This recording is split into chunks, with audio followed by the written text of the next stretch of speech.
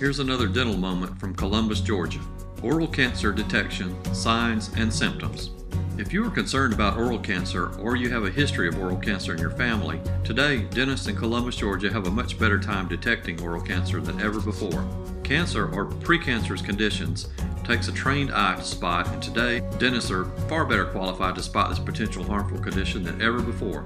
With this sort of early detection, which is key to successfully battling oral cancer, be sure you and your dentist take all of the right steps. Just remember that regular checkups and knowing the early symptoms are the keys to battling cancer. What many people are not aware of is that an oral cancer screening is part of a regular exam. This standard screening can spot trouble or potential trouble in its earlier stages. The problem areas may seem small and insignificant, but they could be a source of potential trouble down the road. Your dentist will be looking for any white or red spots or sores. While most of the time these spots are harmless, sometimes they prove otherwise, and it is important that a professional examine all suspicious areas. In some cases, the dentist will have to test the area of concern to determine the true nature.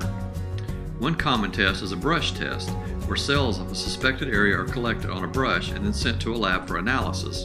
One important thing to remember is that any positive results from a brush test have to be confirmed by a biopsy as well to be entirely confirmed. One thing that you must consider is the prevention and detection of oral cancer. This is key to having any success when it comes to cancer of the mouth. Avoid the excess use of tobacco and alcohol. Make sure you visit a dentist regularly for routine checkups. Try not to over obsess about potential problems, though.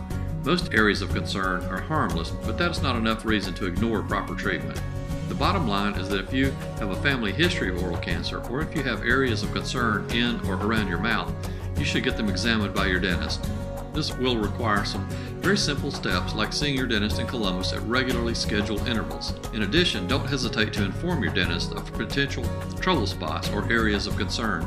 By doing this, you will either put your worried mind at ease or you will be able to detect a problem early and increase the chances of you beating the cancer.